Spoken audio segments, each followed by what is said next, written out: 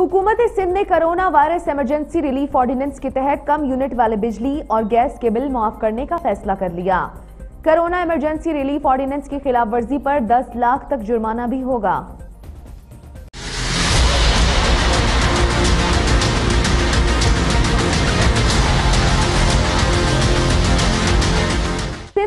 ने corona virus के बाईस इमरजेंसी रिलीफ ऑर्डिनेंस का मुसवदा तैयार कर लिया। मुसवदे के मुताबिक corona virus emergency relief ordinance यकुम अप्रैल से पूरे सिंध में नाफिजुल अमल होगा। ऑर्डिनेंस के तहत कोरोना वायरस से मुतासर तबकात को समाजी माशी कारोबारी रिलीफ दिया जाएगा। मुसवदे के तहत तमाम निजी स्कूल आरोप बीस फ़ीसद फ़ीस कटौती लाजिम करार दी गई है।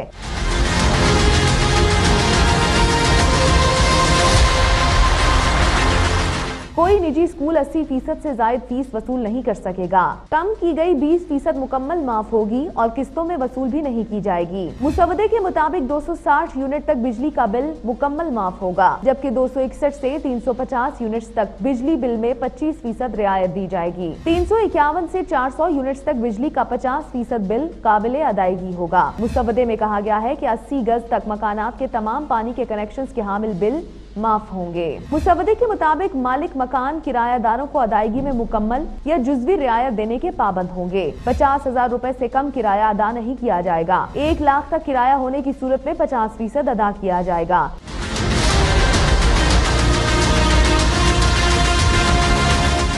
जबकि एक लाख से जायद किराया होने की सूरत में किराएदार को मुकम्मल अदायगी करना होगी। सिंध हुकूमत की जानब ऐसी कोरोना इमरजेंसी रिलीफ ऑर्डिनेंस की खिलाफ वर्जी पर सजा का भी ऐलान किया गया है। ऑर्डिनेंस के तहत रिलीफ न देने आरोप मौके आरोप सजा होगी। ऑर्डिनेंस आरोप अमल न करने की सूरत में दस लाख रूपए तक जुर्माना होगा, जबकि सूबाई महसूलात फ़ीस में भी रियायत दी जाएगी।